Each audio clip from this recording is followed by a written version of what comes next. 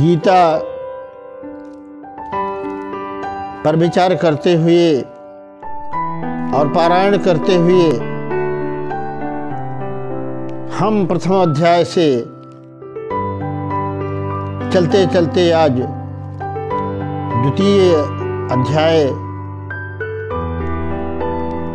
में पहुँच चुके हैं। प्रथम अध्याय में हमने देखा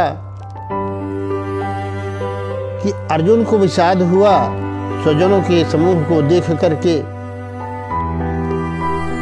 और उस विषाद से व्यथित होकर के अर्जुन ने युद्ध न करने का निश्चय किया, जिसका मूल कारण था उसका अपनों के प्रति मोह। और उस मोह के निरसन के लिए ही द्वितीय अध्याय में भगवान ने उसे उपदेश देना प्रारंभ किया और सच्चे अर्थों में कहें तो गीता का प्रारंभ भी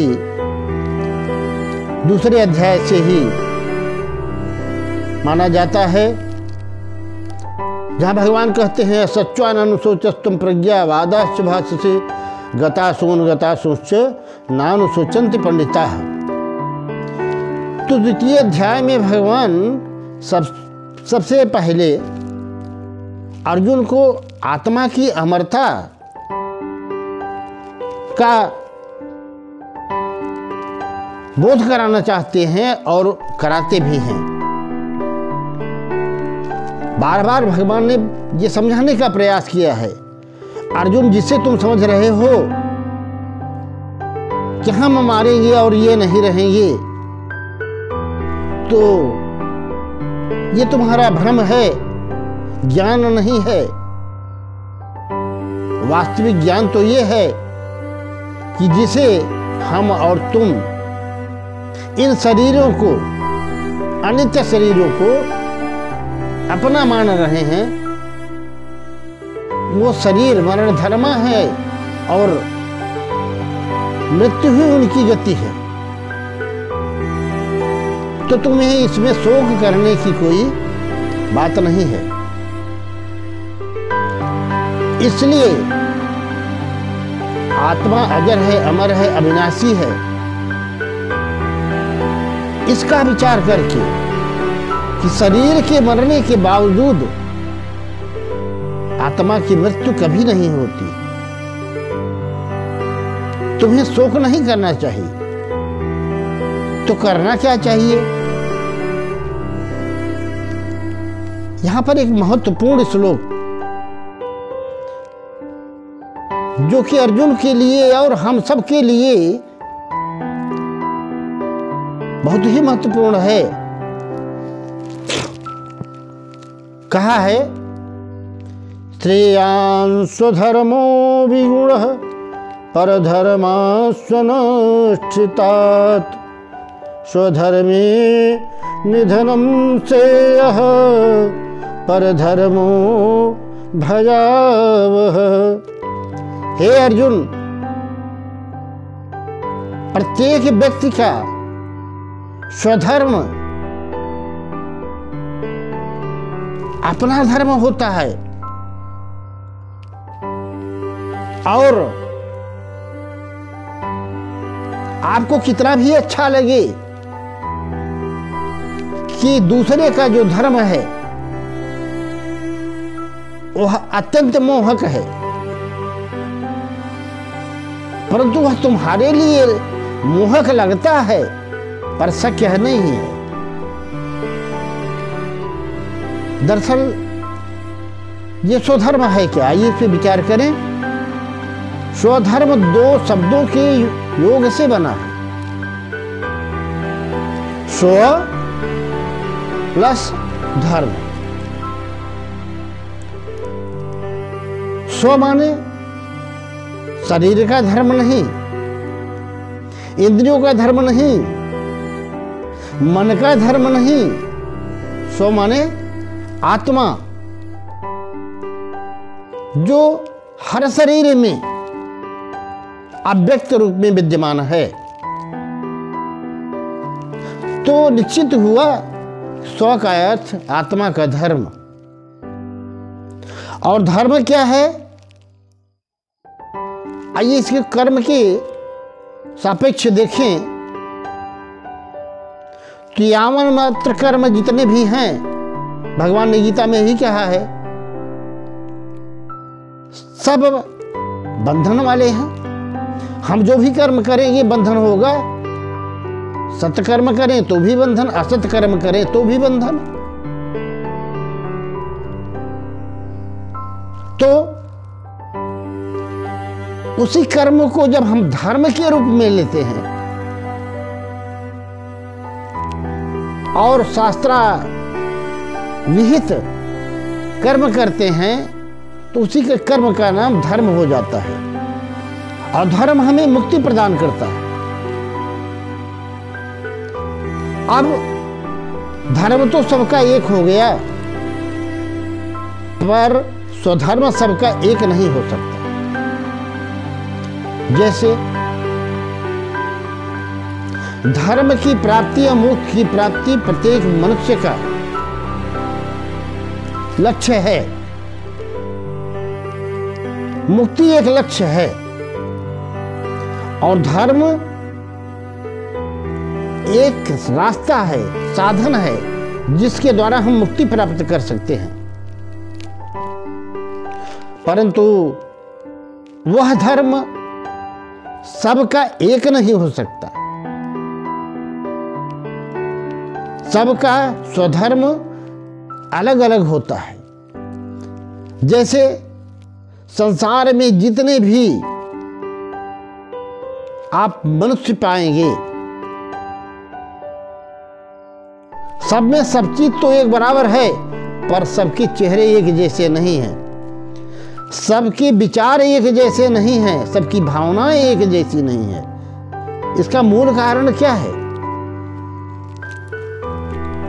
हर व्यक्ति अनेक जन्मों से संचित अपने कर्म समूहों के संस्कार को लेकर के जन्म लेता है। और वह उसकी अंतर का धर्म होता है। अंतर का धर्म। और जो जिस श्रेणी तक अपने कर्मों द्वारा संस्कार प्राप्त किया हो होता है, वही उसका आंतरिक धर्म होता है, जिसे आत्मा का धर्म कहते हैं। अब आत्मा का धर्म, आंतरिक धर्म, यूँ समझ लीजिए जैसे कोई भी बालक पैदा होता है, और उसका स्वभाव ऐसा होता है कि बिना कि कहीं पढ़ाई लिखाए उसमें शांति, दया, करुणा अपने आप होती है। वह गंभीर प्रकृति क्या होता है? किसी से लड़ना पसंद नहीं करता, चोरी करना पसंद नहीं करता। अब लोभ, बस, माया, बस, कोई कुछ कर बैठे, वो बात अलग है। पर उसका मूल स्वभाव शांति क्या है। परंतु आप ऐसे भी मनुष्य देखे होंगे, जिन्हें न तो माता पिता समझाते हैं न गुरुजन समझाते हैं, न कहीं शिक्षा भी दी जाती है, परंतु उसका मूल स्वभाव क्या होता है? चंचल। कार्याधिक्य उद्दंडता। ये उसका मूल स्वभाव होता है। कहने का मतलब क्या? हर व्यक्ति का स्वभाव, उसके अंतरात्मा का जो स्वभाव होता है, वह मूल रूप से उसको वैसी ही दिशा में प्रेरित करता है।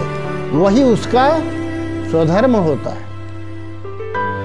अब यहाँ भगवान अर्जुन को समझा रहे हैं कि है अर्जुन अर्जुन क्षत्रिय था इस नाते नहीं। यहाँ जात की बात नहीं है। आप अंदर से किस भाव से प्रेरित हैं और क्या करने के योग्य हैं? आपके स्वभाव के अनुकूल कर्म कौन सा है? उसका अर्जुन को भगवान भान कराना चाहते हैं। अर्जुन, अपने पूरे जीवन में युद्ध ही युद्ध किया। और स्वभाव उसका क्षत्रियत्व का था। अब अर्जुन जब सन्यासी की भाषा बोलने लगा तो भगवान ने समझ लिया अच्छी तरह से। ये सन्यासी की भाषा बोलता है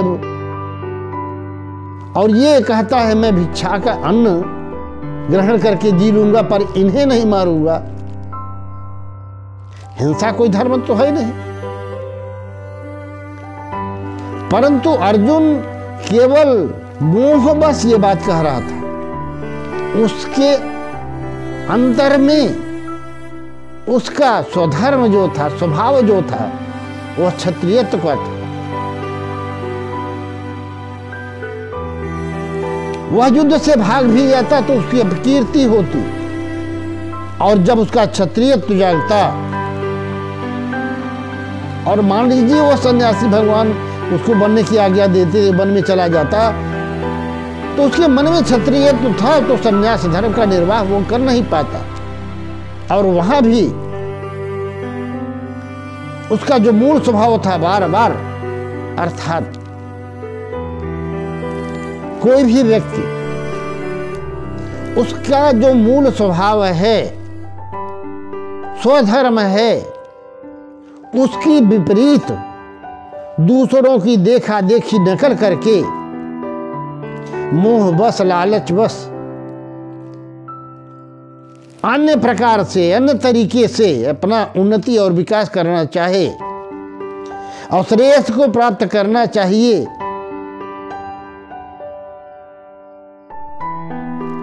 और अगर ऐसा सोचे वो तो उसकी भूल सिद्ध होगी। यद्यपि प्रत्येक मनुष्य का एकमात्र कर्तव्य है मुक्ति प्राप्त करना। परंतु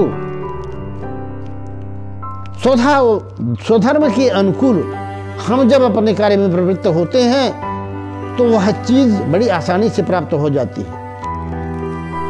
जैसे कोई चंचल स्वभाव का व्यक्ति है, शरीर से भी बलिष्ठ है निरोग है और अब उसका कर्तव्य मुक्ति प्राप्त करने का है। धर्म पर चलने का है। उसके लिए धर्म क्या हो सकता है? वह व्यक्ति उस योग्य है, इसलिए एक सेना में भर्ती होकर के और जब दूसरे देश की सेनाओं को हज़ारों से हज़ार सैनिकों को मार देता है तो वह हिंसा नहीं होती है। वह परम कल्याण का कारण बनती है। कि वह धर्म रक्षार्थ होती है, राष्ट्र रक्षार्थ होती है। और एक व्यक्ति ऐसा होता है, जो शांति प्रिय होता है, करुणा प्रिय होता है गंभीर होता है। वह यदि चाहे कि मैं देश की रक्षा में नियुक्त हो जाऊँ और वह कार्य करके जैसे उस सैनिक ने प्राप्त किया श्रेयस को, मुक्ति को, वैसे मैं भी प्राप्त कर लूँ। वह कदापि नहीं कर पाएगा, कुछ क्योंकि उसका वो स्वधर्म नहीं है। उसकी आत्मा का धर्म नहीं है, अंदर का धर्म नहीं है। वह उसे नहीं कर पाएगा। उसे कर पाने के लिए उसे बहुत ही कठिन परिश्रम करना पड़ेगा। यहाँ तक कि दूसरा जन्म भी लेना पड़ सकता है। उसे तो अपने स्वभाव के अनुसार ज्ञान देना, ज्ञान लेना, लोगों को सुसंस्कृत बनाना, स्वयं सुसंस्कृत बनना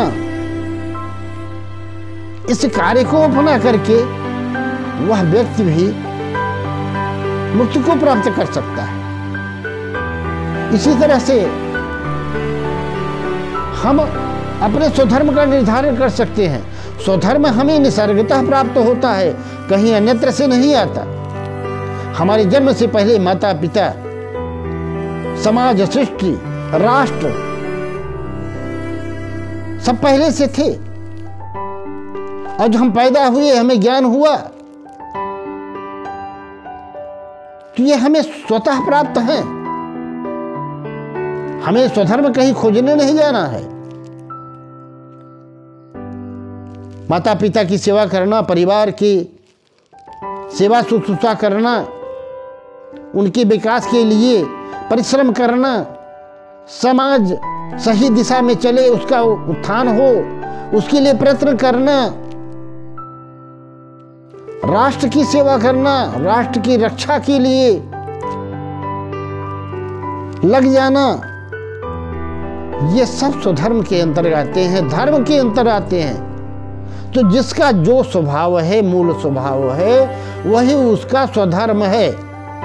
और व्यक्ति अगर अपने स्वधर्म के अनुसार आचरण करता है, मुक्ति प्राप्त करता है तो वह उसके लिए बहुत ही आसान होता है। हम सभी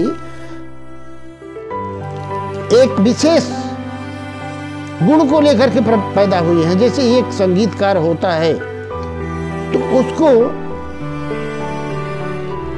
संगीत के लिए स्वर कोई बाहर से नहीं देता, स्वर उसके अंदर होता है।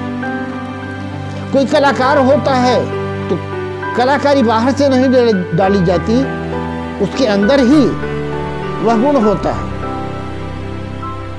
और उसको में ही विकास करके वह भी परम श्रेय को प्राप्त कर सकता है। उदाहरण के लिए देखिए, जैसे मछली पानी में रहती है, जल ही उसका जीवन है।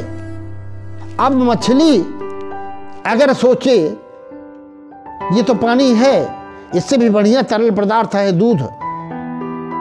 और मछली को अगर आप दूध में डाल दो तो कितने दिन तक जीवित रहेगी? मर जाएगी। इसलिए मछली को पानी में रहकर ही अपना विकास कर लेना चाहिए। भगवान के कहने का मतलब यह है। अर्जुन के माध्यम से हम सभी को भगवान ये शिक्षा देते हैं कि हमारा जो मूल स्वभाव है, उसका निर्धारण हमें स्वयं करना होगा। और सामने जो सहज प्राप्त कर्म है, वही उस समय निर्णय करना चाहिए कि हमें क्या करें? हमारा स्वधर्म क्या है? अर्जुन युद्ध के दोनों सेनाओं के बीच युद्ध के लिए तैयार है। धुंध भी बच चुकी है। और ऐसे समय में अर्जुन के लिए युद्ध के अतिरिक्त अन्य कोई स्वधर्म हो ही नहीं सकता। और भगवान उसी का भान कराते हैं। इसलिए हम सभी को अपने स्वभाव के अनुरूप धर्म का आचरण करके, स्वधर्म में रहते हुए धर्म का आचरण करके मुक्ति प्राप्त करने का प्रयत्न करना चाहिए, यही भगवान का संदेश है।